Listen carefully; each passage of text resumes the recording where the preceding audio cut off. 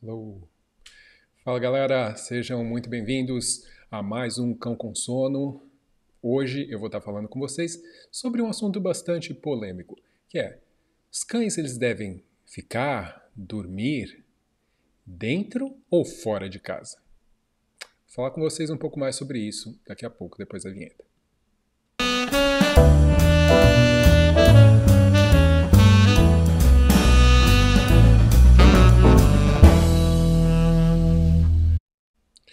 Bom, galera, é isso aí. Sejam muito bem-vindos a mais um Cão com Sono. Se você ainda não me conhece, meu nome é Dante Camacho, sou criador da Dante Dog Works e estou aqui todos os dias com vocês com o Cão com Sono, falando sobre cachorro, falando sobre comportamento.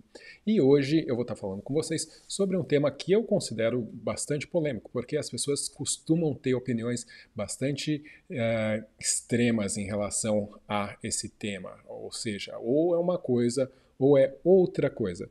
E o que eu acredito, como na maioria das situações, provavelmente tem algo aí no meio que na verdade faz mais sentido do que um extremo ou outro. Agora, lembrando para você que se essa é a sua primeira vez no canal, ou se não é a primeira vez no canal, mas você ainda não está inscrito no canal, então, ou inscrita no canal, eu vou deixar aqui para você então a lembrancinha, inscreva-se, tá? Inscreva-se no canal, curta, compartilhe o vídeo, isso ajuda o nosso canal a crescer e a gente conseguir divulgar mais informações com fundamentação sobre adestramento, sobre comportamento canino, você sabe muito bem que o YouTube está cheio de coisas, cheio de vídeos, cheio de gente falando coisas.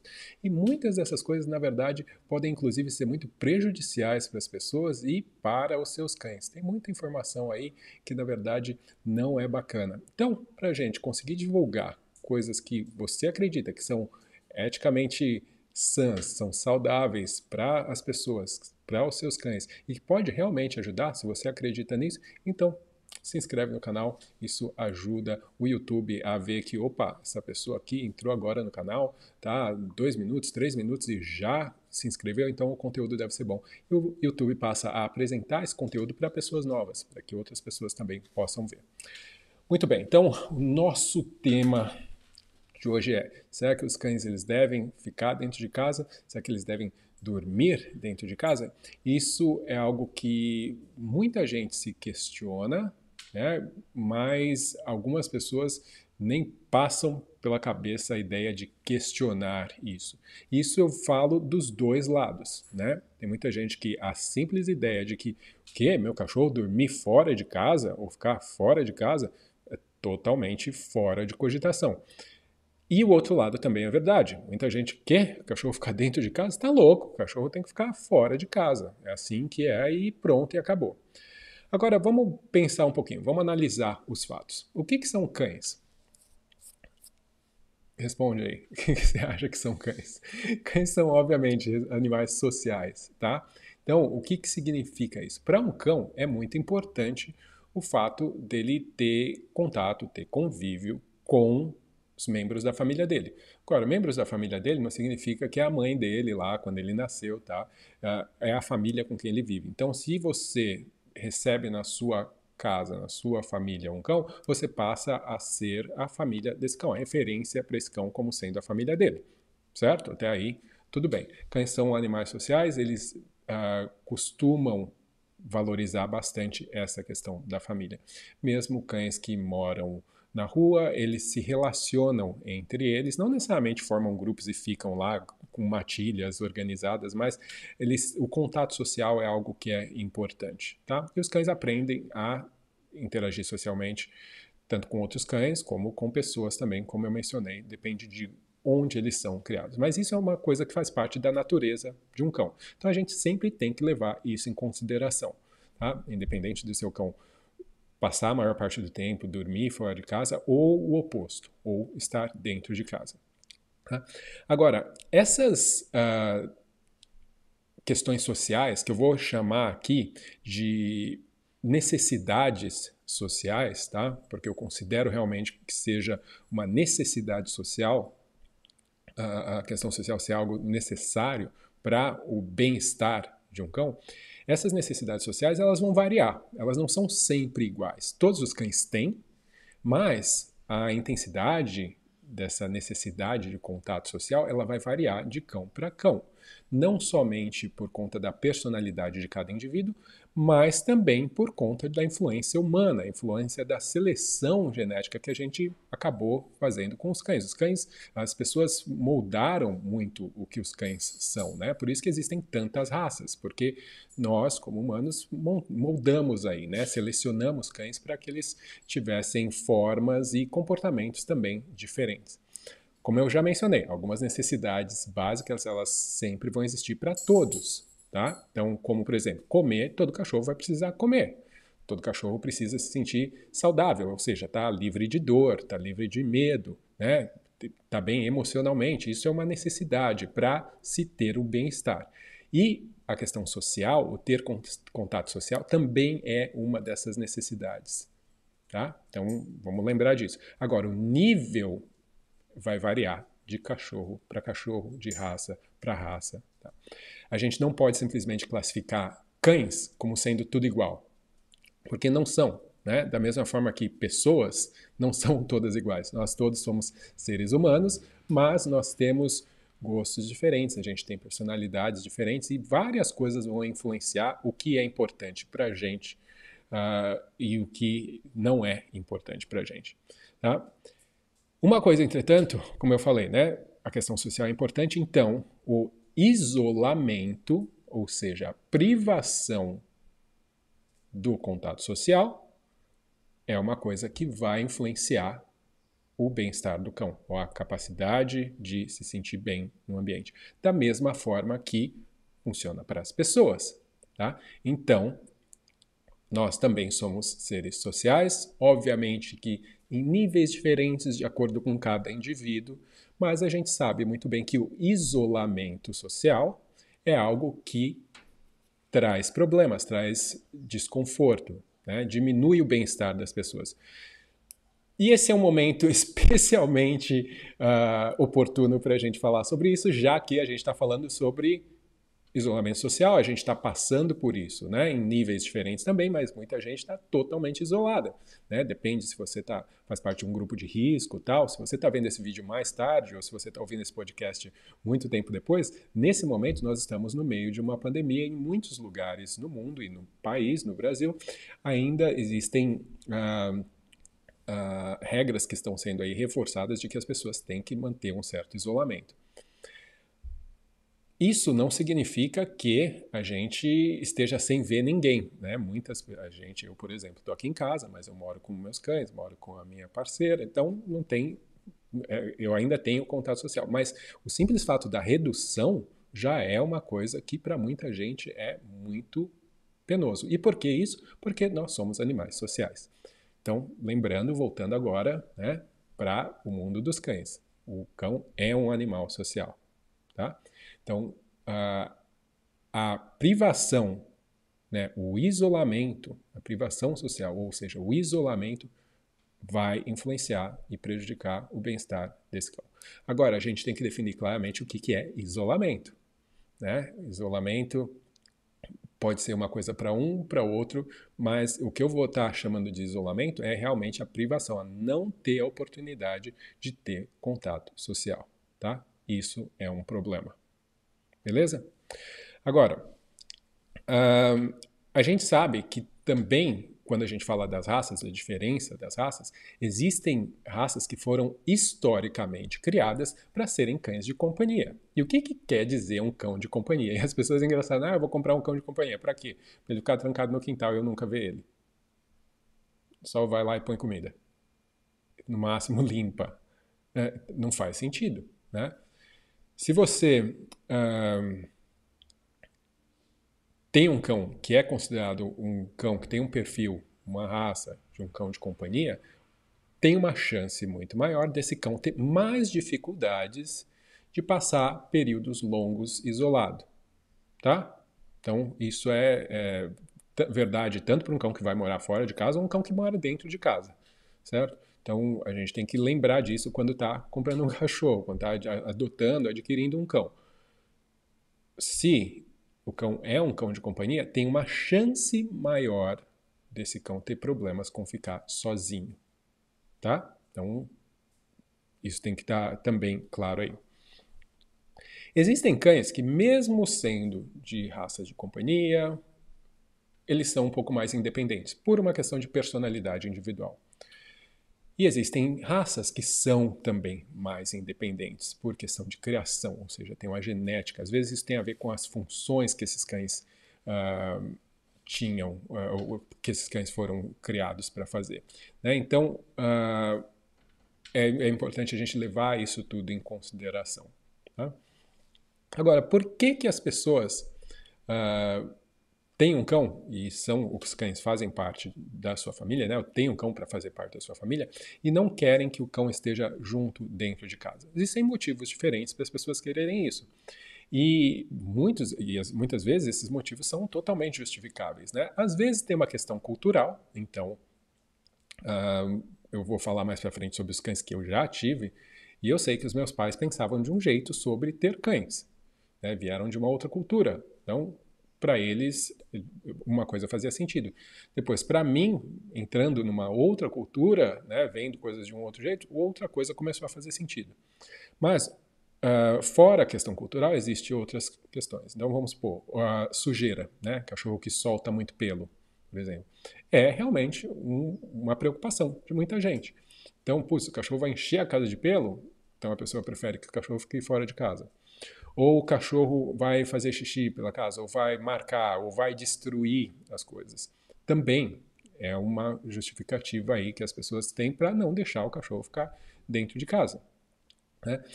E nesse caso, nesse, nessa questão da, da destruição, da sujeira, no caso xixi, cocô, isso na verdade tem mais a ver com a questão de treinamento. Então é uma, é uma coisa que se, essa, se fosse somente essa a razão, uh, um treinamento resolveria, mas se fosse só essa. Muitas vezes é um conjunto de coisas, desde a questão cultural, desde a questão de sujeira, desde a questão uh, da sujeira independente do cachorro querer sujar ou não, né, porque ele acaba sujando, e também a questão de treinamento. Realmente são várias coisas que combinadas falam para a pessoa, ó, não, o cachorro tem que ficar fora de casa. Uh, tem gente, infelizmente, uh, que acha que cachorro. Porque essas justificativas, cada um tem a sua, e é totalmente, sabe, tem que se respeitar isso. Mas existe gente que, infelizmente, segue, por exemplo, esse pensamento: ah, cachorro tem que ficar fora de casa, porque ele tem que saber que ele não pode, porque só eu tenho direito disso, ou porque eu tenho que mostrar que eu sou mais forte que ele, ou que eu tenho que. que são formas de avaliar essa relação com o cão, a forma que, ou a forma que o cão vê o nosso mundo, que são formas um, bastante equivocadas, né? Porque são aquelas formas que a gente já conhece, que estão baseadas na, naquele pensamento, raciocínio um, baseado na disputa, na dominância e de e, de se tornar alfa e mostrar quem é o chefe e tal, que realmente a gente sabe que não é necessário se pensar assim, não faz sentido para os cães pensarem assim.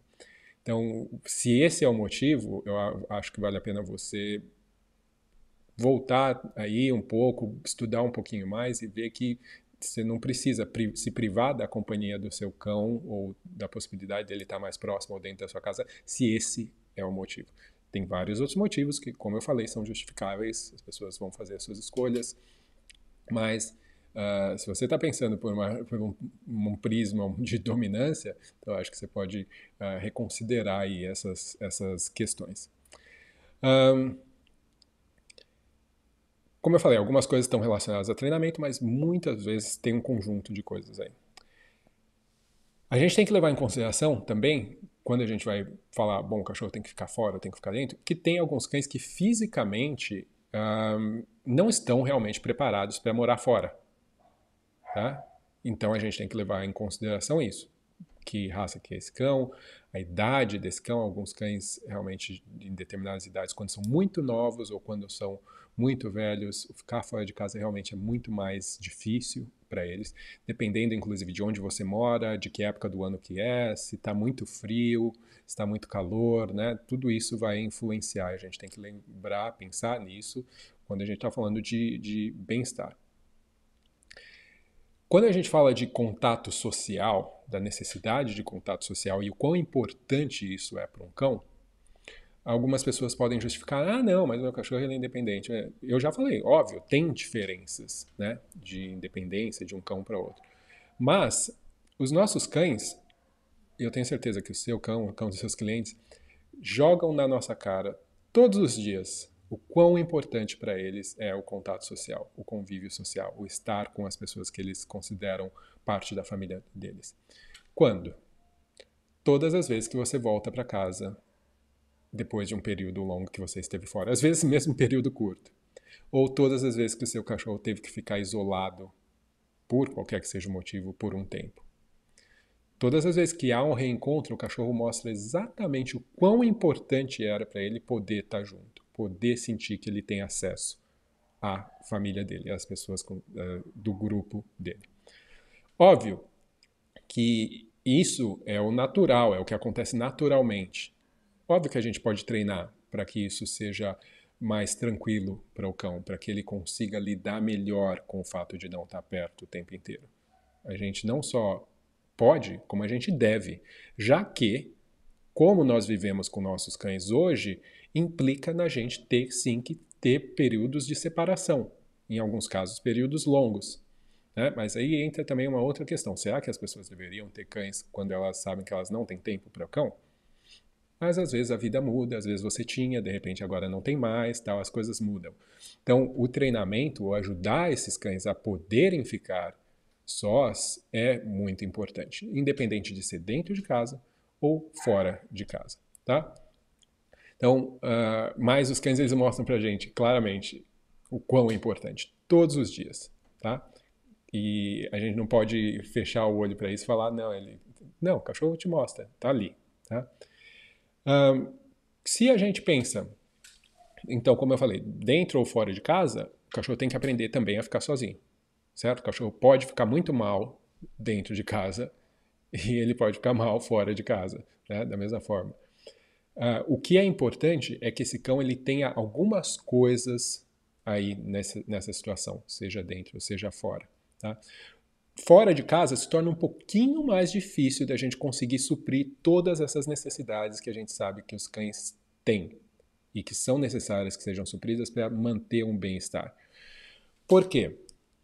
Porque uma dessas necessidades é o fato de você ter o contato social. E se o cachorro mora dentro de casa, no momento de que você volta para casa, o cachorro vai passa a ter o contato social ali, o acesso às pessoas o tempo inteiro que as pessoas estão em casa, mesmo que não seja para brincar, mas tem a proximidade. E muitas vezes isso para o cão já é algo uh, suficiente para ajudá-lo ali a lidar com essa com essa necessidade dele. Uh, quando o cachorro mora fora, isso implicaria em você ter que voltar para casa e depois ir para fora, passar tempo com o cachorro, e isso pode ser mais difícil para uh, as pessoas. Uma coisa que a gente tem que levar, então, em, em consideração: se você tem um cachorro que vai morar fora de casa, você tem que se certificar de que ele tem o espaço necessário para isso. Isso significa o quê? Que ele tem que ter um local né? Muitas vezes vai ser uma casinha, canil, essa, o que quer que seja, que seja próprio, né? Que seja apropriado, que seja seguro, que, que o proteja de chuva, que o proteja de calor demais, que se tiver frio demais ele também tenha protegido. Isso é muito importante. Você não oferecer isso para um cão já é um dos pontos aí errados de se tentar ter um cachorro fora de casa. Não só isso, o cachorro ele tem que se sentir seguro nesse ambiente. Tá? Não pode ser um ambiente onde o cachorro fique com medo com o que está acontecendo ao redor. Tá? Então, isso é muito importante. O local onde esse cachorro vai ter para estar fora de casa também tem que ser amplo o suficiente. Às vezes a pessoa ela até tem um espaço menor reservado, vamos supor um canil para o cachorro, e daí ela tem um quintal maior. ter um espaço maior é muito importante. Se você tem um canil onde o cachorro fica, ele, o cachorro não pode ficar o tempo inteiro preso no canil. Tá? Isso uh, aí você está prejudicando o bem-estar desse cão. Então, ele pode ter períodos onde ele passa no canil e períodos onde ele vai ter que ficar fora, onde ele vai ter que ter acesso para outras áreas, lugares onde ele possa se mover, se exercitar e tudo mais. Agora, uh, óbvio que ele não vai se exercitar sozinho sempre, tá? A maioria dos cães vai precisar um pouco mais do que isso. Uh, óbvio, o cachorro vai precisar ter acesso à água 24 horas, tá? Então isso é muito importante. E a questão de comida, eu faria alimentação normal, como se faz com o cachorro dentro de casa, mas a água é muito importante, o cachorro tem acesso o tempo inteiro. Se você quer que morar fora para o seu cão seja algo que seja menos uh, uh, ruim possível, né? no caso de um cachorro que vai, por exemplo, está acostumado a ficar dentro de casa e vai morar fora de casa, mas mesmo um cachorro que você quer introduzir na sua família, mas que ele vai sempre estar tá morando fora de casa, a gente tem que lembrar desses pontos que eu falei, mas a gente tem que lembrar também que tem outras coisas que são importantes. Não adianta só você ter um quintal grande, isso um monte de gente faz, né? Tem, comete esse erro. Ah, eu tenho um quintal grande lá e, e daí o cachorro pode ficar lá.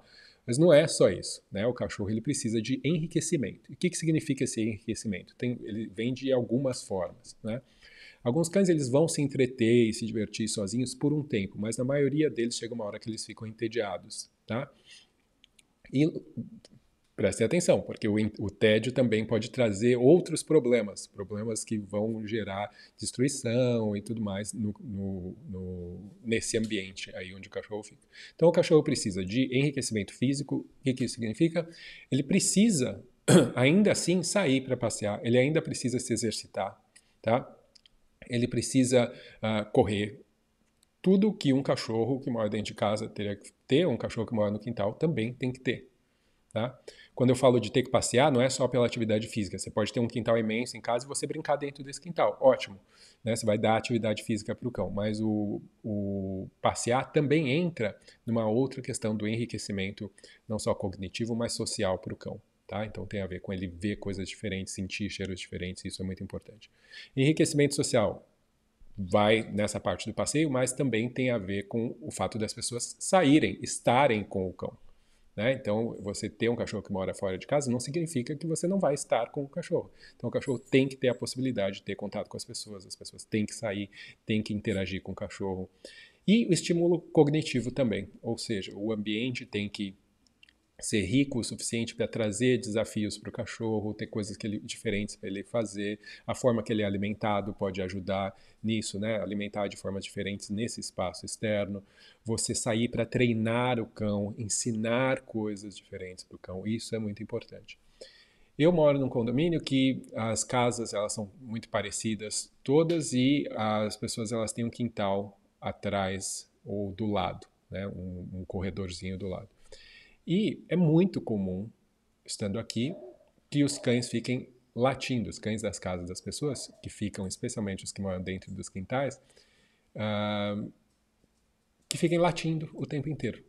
Né? Ou que qualquer coisa que aconteça, o cachorro lata, lata. Isso sem ter acesso visual ao que está acontecendo fora. Quando tem acesso do que está acontecendo fora, ou seja, o cachorro consegue ver, então os estímulos fazem com que lata ainda mais. Então tem uma grande chance aí da, uh, cães que ficam só em quintal, né, ficarem tão entediados ou frustrados que os estímulos externos passam a ser né, causadores ou estimuladores para esse tipo de reação de ficar latindo e muitas vezes até desenvolver outros problemas de comportamento. Então, uh, é possível, sim, o cachorro viver bem fora de casa? Sim, tem várias coisas que tão, tem que ser levadas em consideração, como eu falei. Tem a ver com a personalidade, tem a ver com a raça, tem a ver com o que esse cachorro está acostumado também, né? Se ele tá, sempre dormiu na cama com o dono e agora você quer que ele durma fora, vai, vai ter uma dificuldade aí essa transição. Mas as outras coisas que são básicas e muito importantes, então é o local que tem que ser amplo, tem que ser apropriado para o cão, o cão tem que se sentir seguro, ele tem que ter acesso à água constante, ele tem que ter enriquecimento físico, social e cognitivo para ele poder estar bem. A, a maioria dessas coisas também se aplica para o cão que está vivendo dentro de casa. O problema é que muita gente tem o cachorro fora de casa exatamente para não fazer as coisas que precisa, porque ela não consegue se comprometer ou não quer se comprometer com o trabalho que é ter um cão como parte do membro da sua família, como sendo um membro da sua família, como sendo um ser que você tem que cuidar, tá? Então, um, se esse é o motivo pelo qual você tem um cachorro fora de casa, você pode talvez reconsiderar por que, que você tem um cachorro. Para que, que a gente tem um cão de companhia se, não, se ele não vai estar tá servindo esse papel? Né? Não é um móvel, não deveria ser pelo menos, né? que você compra e põe ali para ficar decorando. Eu sei que muita gente acaba comprando por impulso, tá? Um cachorro vê, ai que bonitinho, não sei o quê, e daí, oh, que incrível, né? Vê um cachorro adulto, super treinado e fala, ah, eu quero um igual.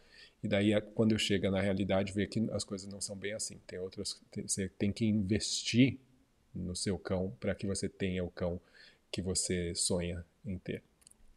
E daí, muitas vezes, a pessoa não reconhece isso, daí quando tem o cachorro, não sabe o que fazer, ou não está disposta, e daí coloca o cachorro de escanteio ali no canto. Um, é muito comum isso acontecer, especialmente com gente que tem filho pequeno né? Porque fi ter filho é um trabalho, né? Você tem que investir, é tempo, não sei o quê, e daí tem um cachorro, né? Chega um cachorro novo em casa, é muito trabalho também, e daí você fica, meu, o que, que eu vou fazer? As pessoas, óbvio, priorizam seus filhos humanos, e daí o cachorro fica uh, escanteio. É uma falta de planejamento na maioria das vezes. Um, uma coisa que é muito importante também que a gente tem que levar em consideração, muitos cães que moram fora de casa ficam presos em correntes, tá?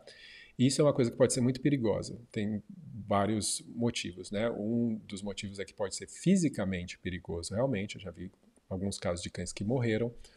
Uh, pode causar danos físicos ao longo do tempo, né? Dependendo de como o cão interage com isso, se ele puxa, né? Se ele fica dando trancos na, na nessa corrente. Uh, então, o cachorro ficar preso na corrente deveria ser o tipo da coisa que acontece por períodos muito curtos de tempo e de preferência sob supervisão. Ou seja, o cachorro não está lá sozinho, fica lá, a pessoa sai de casa e, né? Então, uh, vamos supor, você tem que fazer alguma coisa em relação a manejo, preciso prender o cachorro por algum motivo, vai entrar alguém, eu está entrando no carro, o que quer que seja, beleza. Mas o cachorro ficar preso constantemente aí pode não só ser prejudicial fisicamente, mas também uh, mentalmente para o cachorro, trazendo outros problemas de agressividade, muitas vezes também, pelo cachorro estar tá preso ou medo extremo, né? Porque você, ao prender o cachorro, você tira a possibilidade de fuga dele e o cachorro, na maioria das vezes, acabam revertendo para questão da agressividade. Então, é até normal, né? É uma sabedoria aí popular, as pessoas falam, ah, tem que prender para ele ficar bravo. Né? E, na verdade, sem perceber, as pessoas estão fazendo isso. Elas estão colocando o cachorro numa situação, opa, eu não tenho como fugir, eu estou me sentindo ameaçado, as coisas estão aqui, estão meio estressantes e, pum, reage, passa a reagir de forma agressiva e daí a pessoa, ah, beleza, funcionou, e agora ele está bravo. Uh, e muita gente tem cachorro também com essa finalidade de que seja bravo, de que espante as pessoas, né? Que tem a função de um cão de, entre aspas, guarda. Então, esses cães, eles vão ter que morar fora de casa em muitos casos, né? Mas é importante a gente estar tá prezando pelo bem-estar desses cães, independente deles serem cães de guarda ou não. Tem todas essas coisas que eu já mencionei que são importantes independente do cachorro. Um, quando eu falo essa questão social de estar com pessoas e tudo mais, lembra que estar dentro de casa também pode ser muito solitário. Tá? Então, a questão do enriquecimento é importante para os cães que moram dentro de casa também. Se você tem um cachorro que mora dentro ou fora de casa, né? mas como a gente está falando aqui sobre o fato de estar fora, principalmente, né? que é a coisa mais uh, uh, polêmica, Uh, latidos excessivos, cachorro que fica uivando, cachorro que destrói muita coisa, são sinais de que possivelmente esse cão não está passando um bom tempo aí quando ele está fora de casa, né? Se, ou vivendo fora de casa. Então, uh, a gente tem que prestar atenção e tentar avaliar, peraí, o que, que eu estou fazendo, se eu estou provendo o suficiente para esse cão para ele ficar bem quando ele está nesse ambiente. Tá? Então, são sinais aí que a gente tem que parar e prestar atenção. Né? O vizinho reclama que o cachorro late o dia inteiro, né? ou o cachorro está uivando, ou você chega, está tudo cavado, a parede está comida, né? Daí você tem que pensar, uh, a casa do cachorro está destruída, uma coisa que é muito comum, né? Eles roerem, destruírem a própria casinha. Então a gente tem que pensar, peraí, talvez esse cachorro não esteja tendo as necessidades dele supridas e ele está apresentando todos esses comportamentos aqui. Óbvio, também considerando a personalidade do cão, se a questão social para ele é algo que é muito uh, uh, mais importante. Então, né? uh, a gente tem que tentar escolher as raças, os cães que a gente vai ter baseados nas nossas possibilidades, no nosso estilo de vida. Né? Então, ficar escolhendo cão simplesmente porque está na moda é um problema e acaba gerando outros problemas. E questão, gera problemas não só para você, mas também para o cão. Né? Então, se a pessoa é uma pessoa que vai ter tem pouco nível de atividade, é uma pessoa que uh, não gosta gosta da casa super hiper limpa, né? então você tem que escolher cães. Ah, bom, de repente esse cão ele solta muito menos pelo. Então eu vou preferir esse cão. Ou esse cão ele tem um nível de atividade baixo, então eu vou escolher esse. Né? Ou eu gosto de fazer atividade, eu tenho bastante tempo em casa, beleza, vou ter esse outro. E não simplesmente escolher cães pela aparência física, que é o que a, a grande massa acaba fazendo e gerando uh, aí bastante problema. E os problemas é bom a gente lembrar, são para a pessoa e para o cão. Né? Outra coisa que é importante, a gente ter uh, um cão e querer que ele seja educado dentro de casa, e daí quando ele não é, a gente fala, ah, então vai ficar fora, uh, significa que a gente tem que educar o cachorro. Né? A gente tem que ensinar para um cão como é que é ficar dentro de casa, o que, que ele pode, o que, que ele não pode. Né? Então, isso significa treinar, trabalhar com limitações, o cachorro aprender gradativamente a estar em casa dentro, na guia, por horários específicos, aumentando gradativamente. Da mesma forma que, da mesma forma que um filhote, quando você está ensinando, mesmo um cachorro que mora dentro de casa, um filhote, ele tem que ter limitações a princípio, até ele aos poucos ir ganhando experiência e o direito de poder ter acesso a mais lugares. Isso é normal. A gente tem que lembrar sempre de satisfazer as necessidades básicas dos cães físicas, emocionais, sociais, cognitivas, tá? biológicas. Uh, a gente tem que ser consistente naquilo que a gente faz, ou seja, se você está, vamos supor, trazendo um cachorro para dentro de casa ou levando o cachorro para fora de casa, você tem que ser consistente nas coisas que você faz. E fazer esse processo gradativamente para que o cão consiga se adaptar. Então, muitas vezes as pessoas elas têm um filhotinho, por exemplo, ele chegou em casa e ele fica dentro de casa. Daí depois, um dia, quando o cocô dele começa a cheirar, demais, ou ele começa a pular o cercadinho que você tem, ou ele está destruindo destruir alguma coisa, ah, do dia para a noite ele passa a morar fora de casa.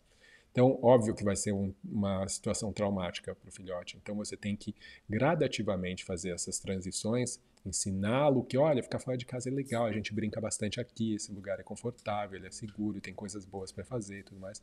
E aumentando gradativamente esses períodos de tempo em que o cachorro uh, tem, uh, que ficar nesses lugares. Isso funciona tanto para dentro como para fora de casa também. Um, meus cães, por exemplo, eu vou contar, eu já tive muitos cães ao longo da minha vida. Quando eu era criança e morava com os meus pais, meus cães eles tinham que morar fora de casa, era normal. A gente também nunca imaginaria que seria diferente. Os cães também tinham a casinha deles, mas eles moravam também presos em corrente a maior parte do tempo. Uh, o que, óbvio, era uma limitação bastante grande. Esses cães, obviamente, não tinham tantos estímulos quanto eles deveriam ter. Quando a gente saía para passear, que era muito esporádico, porque esses cães cresciam e a gente não sabia ensinar, não sabia educar, e daí ficava impossível realmente passear, né? Aquela coisa na corrente, que saindo com o cachorro, o cachorro arrastando, né? Uh, obviamente, esses cães não tinham uma vida uh, muito boa, muito rica. Uh, felizmente, esses cães não passaram muitos anos conosco. A gente sempre acabava doando exatamente porque a gente acabava não colocando todos, quando, como criança, né, não conseguia se responsabilizar tanto quanto deveria pelo, pelos cães. Eventualmente, eu tive, passei a ter outros cães mais para frente, que eram cães que também moravam fora é, e você via que tinha uma dificuldade bastante grande para esses cães eram labradores porque eles eram muito sociáveis queriam muito é muito importante estar com gente para eles. Uh, eventualmente eram dois, mas no início era um, então você via que toda vez que tinha um encontro, que a gente abria a porta, que você ia os cachorros estavam ah, ah, ah, aquela coisa alucinada, né? Mas eram cães que não tinham sido educados a ficar dentro de casa, então quando entravam também, aquela coisa, o rabo ia batendo nas coisas. Você tem que adaptar a sua casa também para o cão, né? Você tem um dog alemão que tem um rabo que bate, derruba tudo de, de cima da, da, dos lugares, você tem que adaptar, porque isso nem é uma questão do coitado do cachorro, né? Não é um problema de educação, é simplesmente uh, fisicamente difícil.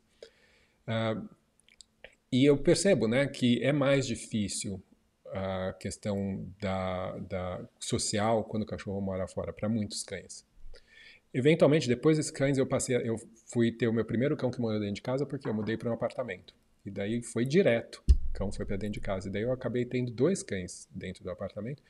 E realmente não teve problema nenhum. Eram cães de porte menor, o apartamento era pequeno mas não teve problema nenhum. Mas eu tinha um estilo de vida onde meus cães faziam bastante coisa comigo. Eles estavam, eu estava com eles boa parte do dia. Os períodos que eles tinham que ficar sozinhos eram relativamente pequenos, então eram algumas horas no máximo no dia, três, quatro horas.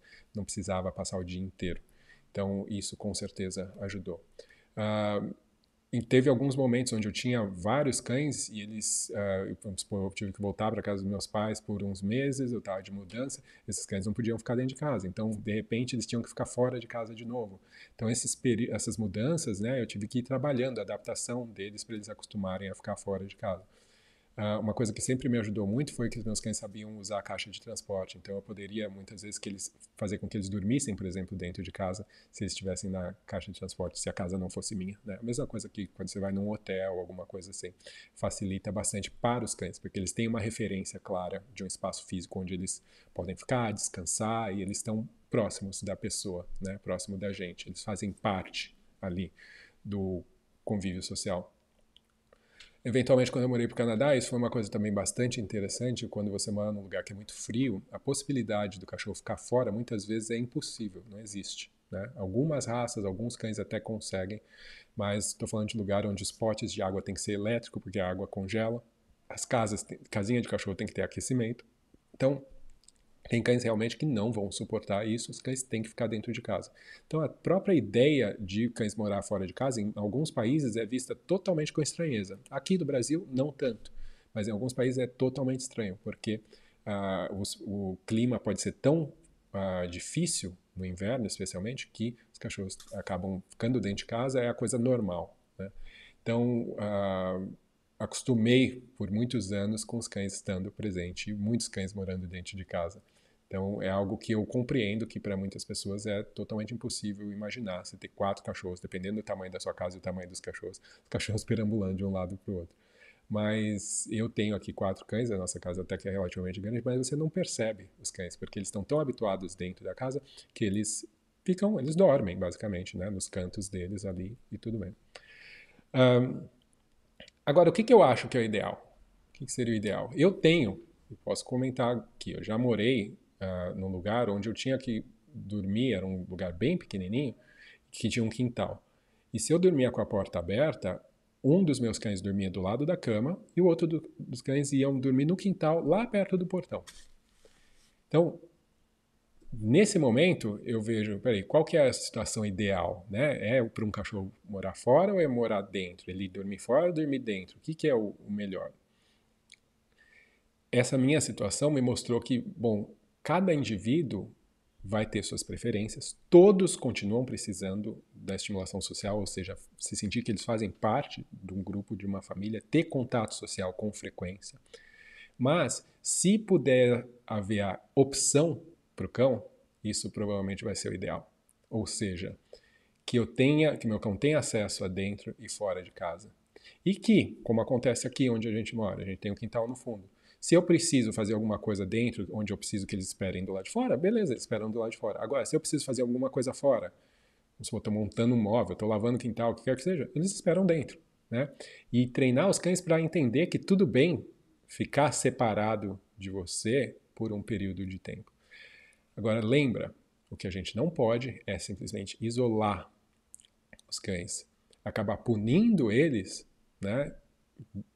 Tirando o, a possibilidade do convívio social com as pessoas e de todas as outras coisas que eles precisam, né? Como eu falei das outros tipos de estimulação que eles, que eles precisam ter, uh, isso que a gente tem que tomar cuidado para não fazer. Independente da sua escolha de ter um cachorro que mora primariamente fora ou primariamente dentro de casa, a gente tem que lembrar que eles têm necessidades, e essas necessidades têm que ser supridas, beleza? Bom, era isso. Acabei falando mais do que eu imaginava, como sempre.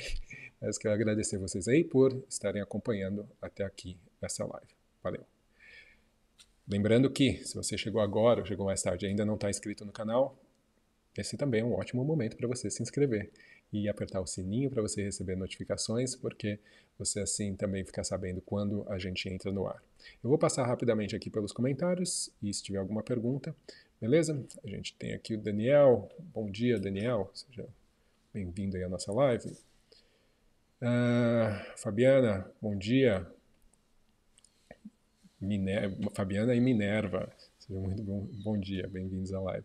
Ellen, bom dia. O Leandro aqui pergunta: cães pequenos dentro de casa e cão grande fora de casa tem algum problema? Tipo, privilégios diferentes? Um, eu acho que assim, se o cachorro está totalmente acostumado, né, não é uma coisa que acontece porque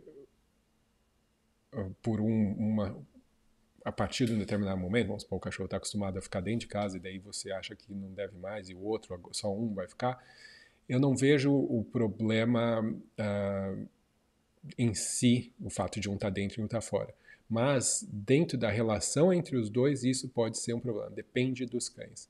Porque é como se você tivesse uh, dois cães de vizinhos, entendeu? Todas as vezes que eles se encontram, vai ser como se um, um, reencontro. Então depende da relação que esses cães têm, pode gerar um problema entre eles, tá? mas vai depender realmente de cada, uh, de cada situação. Um, tem um cachorro que dorme fora e o outro que dorme dentro, eu não vejo problema nenhum. Eu aqui em casa, a gente tem quatro cães. Uh, e é um sobrado. A gente tem um cachorro que sempre escolhe dormir aqui embaixo enquanto a gente sobe, dois que dormem no quarto, porque escolhem dormir no quarto, e o outro que dorme num outro quarto lá em cima separado né? fechado, inclusive. Então, uh, isso não seria um problema, porque durante o dia eles têm diversas oportunidades de estarem junto, de interagirem e tudo mais, e tem o espaço uh, como sendo deles. Então, se for para ter dois cães, um dentro e um fora, que eles possam ter o máximo de interação em outros momentos, que seja mais normal para eles também estarem juntos, fazerem parte do, do mesmo grupo aí, ou sentirem que fazem parte do mesmo grupo. Tá? Uh, Alan, beleza? Bom dia a todos. Bom dia, Alan. Uh, por exemplo, o Daniel pergunta aqui: posso dar acesso parcial do cão à casa, tipo liberar somente a sala? Com certeza. Isso é uma das coisas muito comuns que as pessoas fazem. Eu acredito que é, é, é totalmente bem-vindo, sabe? O cachorro ele não precisa ter acesso a tudo o tempo inteiro, né? E ele pode aprender que a parte que ele tem acesso é, é X. Né? Então, às vezes você tem que fazer alguma coisa, vamos supor, cozinha. Né? A cozinha pode ser um espaço que não se entra. Você pode criar espaços específicos. Ó, essa área a gente não vai. E essa a gente vai. Não, tem, não vejo problema nenhum. Uh, aqui a Nayara fala que tá para escrever uma carta anônima para um vizinho que deixa o cão preso no portão. Sua live me inspirou. Acabei de escrever e hoje deixo lá na casa. São pessoas boas, é muito triste. É, não, tem que pôr o link do vídeo. Não, não pode pôr, porque senão vai saber que foi você que mandou. Porque já tem a, a, aqui o seu comentário. Um, a Camila fala aqui: Bom dia. Tem um BC de dois meses que por enquanto está em espaço restrito. Às vezes deixamos ele entrar na sala para brincar conosco. Podemos ter problema uh, quando ele voltar para o espaço restrito? Uh, se esse espaço restrito é o espaço definitivo dele, eu acho que é melhor você sair e brincar com ele lá. Né? E não trazer toda a diversão para um espaço onde ele não vai poder ficar. Senão ele vai sempre ficar naquela gana, ah, eu quero entrar, eu quero entrar porque é lá onde as coisas boas acontecem, onde as pessoas ficam e elas interagem comigo. Então, não que o cachorro não possa entrar em casa, mas eu faria o entrar em casa algo mais neutro né, algo mais de calma, onde o cachorro fica ali, ele ganha um ossinho ou um Kong recheado, né, alguma coisa, ele fica na guia, onde tem uma limitação, para ele poder estar presente e entender que ficar dentro de casa pode ser uma coisa normal e calma. Agora, se ele mora fora, né, ou no espaço restrito, e daí toda vez que ele entra para brincar, se um dia você quiser ter esse cachorro entrando dentro de casa, ele sempre vai entrar excitado, porque é isso que ele acaba aprendendo. Então, saia de casa e brinque com o cachorro nesse espaço. Né? Mostra para ele que lá é legal, lá onde você vai, para ele ver que esse valorizar o estar tá ali e o dentro de casa já vai ter o valor porque vocês estão lá, mas não criar pelo menos a excitação aí dentro desse espaço onde ele não tem normalmente acesso. Beleza? Uh... Aqui, ó, a Nayara fala, não é vizinho tão íntimo, mora até meio longe. Passamos por lá na hora do passeio, beleza. então ajuda lá, vê se rola. Escreve de um jeito bem legal, para que as pessoas não se sintam defensivas, né? Porque é normal a pessoa se sentir um pouco ofendida, né? Quando você meio que acusa ela de talvez estar fazendo algo que não seja bom, que não que seja, né? Então, uh, mas como eu falei, é uma questão de a gente estar consciente, pensar no que a gente está fazendo para prover para o animal a melhor a opção possível, as coisas melhores dentro da condição que a gente pode oferecer para eles. Galera, é isso. Quero agradecer a todos novamente aí por mais essa live e a gente se vê amanhã, provavelmente aqui novamente. Se você ainda não curtiu, curte aí o vídeo, porque ajuda a gente, beleza? Uh, grande abraço a todos, a gente se vê na próxima. Até mais.